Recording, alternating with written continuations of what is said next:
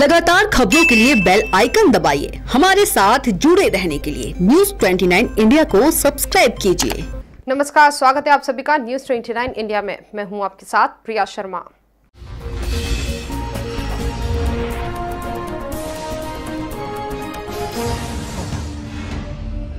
इंदौर में रविवार को नर्मदा ट्रस्ट भवन में हर वर्ष की तरह इस बार भी सम्मान समारोह का आयोजन रखा गया, जिसमें मुख्य अतिथि के तौर पर प्रदेश के जनसंपर्क मंत्री पीसी शर्मा मौजूद रहे।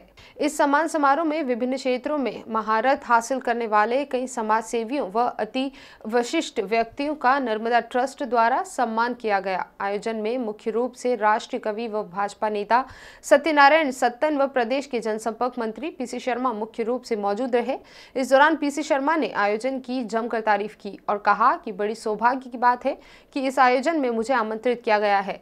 अल्पसंख्यक आरक्षण पर पीसी शर्मा ने कहा कि कांग्रेस अध्यक्ष तय करेंगी, वैसे ही अल्पसंख्यकों की कई सुविधाएँ दी गई है। छत्तीसगढ़ आईटी रेट पर कहा, यह दुर्भाग्यपूर्ण है, केंद्र हमारे हक के करोड़ों रुपए रोक रही है और दुर्भाग्यपूर्ण कार्रवाई कर रही है। दोनों प्रदेशों की तरक्की से केंद्र परेशान है। केंद्र की एजेंसियों पर कार्रवाई की रोक पर कहा है कि निश्चित तौर पर प्रदेश को इन्फॉर्म किए बगैर कार्रवाई नहीं होनी चाहिए। जिस राज्य की सरकार है, उसके प्रशासनिक तंत्र को पता होना चाहिए। देखिए, ये सब चीज़ें मध्य प्रदेश में जो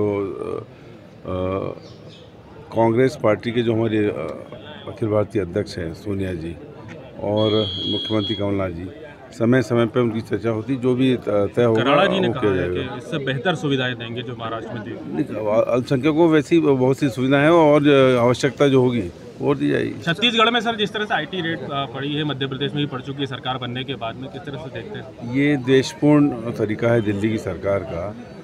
वो ये देख रहे हैं कि मध्य प्रदेश और छत्तीसगढ़ हर क्षेत्र में बहुत आगे तेज़ी से बढ़ रहे हैं। यहाँ आईफा हो रहा है, आईटा हुआ आपके इंदौर में। अब आईफा होने जा रहा है। इंटरनेशनल ब्रांडिंग हो रही है मध्य प्रदेश की।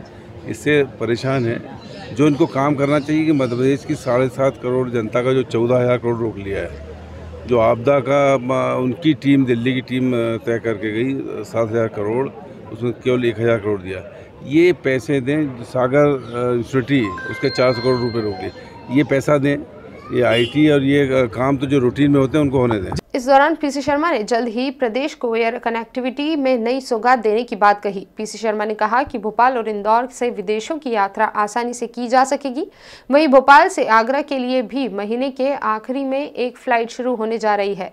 मंत्री पीसी शर्मा ने कहा कि मुख्यमंत्री कमलनाथ को ऐसे कामों में महारत हासिल है और जल्द एयर कनेक्टिविटी में इंदौर और भोपाल विदेशों से एयर कनेक्टिविटी पूरी तरह से होने जा रही है।